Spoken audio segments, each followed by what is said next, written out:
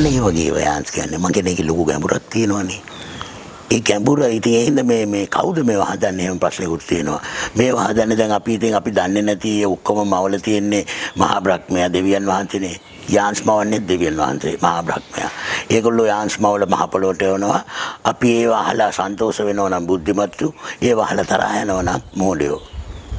තේරුම් ගන්න. යාන්ස් කවුරුවත් තරහ කරගන්නේ නැහැ. හැමදාම hina වෙලා ඉන්න જાතියකට තමයි දියුණු වෙන්න පුළුවන්. යාන්ස් කැෆේ වැැහුව වගේ ගතියක් ආවද? නෑ වැැහුවේ නෑ. ඊට වඩා මරුව එකක් මතක් වුණා. මොකක් දන්නවද මේ අපේ දියවටෙන් නිල්ලම කෙනෙක් එංගලන්තේ ගියා.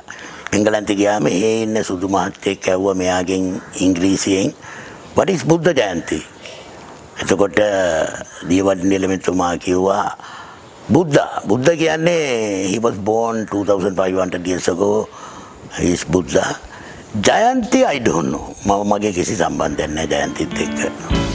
ඔන්න එහෙනම් ඉස්සරහට අදින් මේක ඉවර වෙන්නේ නැහැ යාන්ස් කැෆේ එක දිගටම විවෘතයි. ඕගොල්ලන්ට අත පිරෙන්න, හිත පිරෙන්න, බඩ පිරෙන්න යාන්ස් දෙනවා. hina වෙලා තර වෙන්න. බේත් බොන්න ඕන නැහැ. මහත් වෙන්න hina වෙලා.